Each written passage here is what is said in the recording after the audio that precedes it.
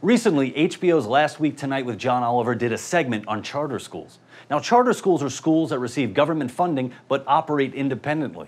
And even though less than 6% of students in grades K through 12 attend charter schools, John Oliver wants to make sure you fear them 100%. Thanks for that, John.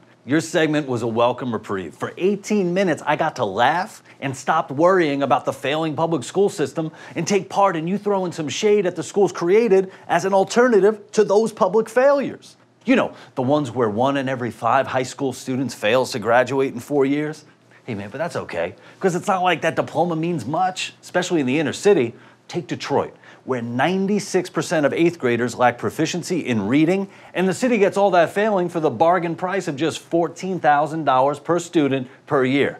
That's more than private school. I also want to thank you for highlighting examples of corruption within charter schools. Not only was it hilarious, but it made me forget about all the corruption in public schools. I mean, who wants to think about entire school systems faking student test scores or even pushing underperforming students to drop out? And seriously, why would I want to know about officials stealing millions from the public schools to pad their own pockets? Oh, do you remember when you talked about charter schools so flawed they don't make it through the school year? Around the country, there have been charter schools so flawed they don't make it through the school year. Man, that was a pretty good dig at charter schools. But you also showed how they're held accountable for their failings. That if charter schools don't produce results, and especially if they're involved in criminal activity, they'll be shut down.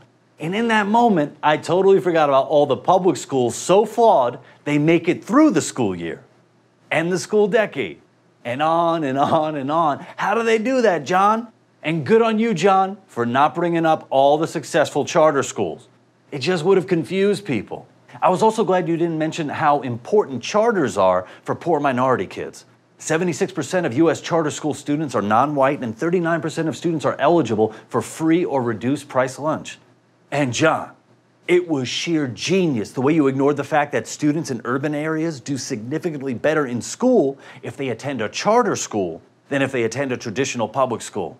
Man, if you had mentioned all the disadvantaged black and Hispanic kids who are lucky enough to attend charter schools and who succeed because of them, then people might take a moment to think about all the kids who are not so lucky to escape. You know, the kids and parents who have no choice but to stay in their failing public schools. And that kind of nuance really screws up your argument and your punchlines. Thanks for watching, guys. Please subscribe to our channel, We the Internet TV. We release new videos every Thursday and Friday. And what do you think about charter schools? Let us know in the comments.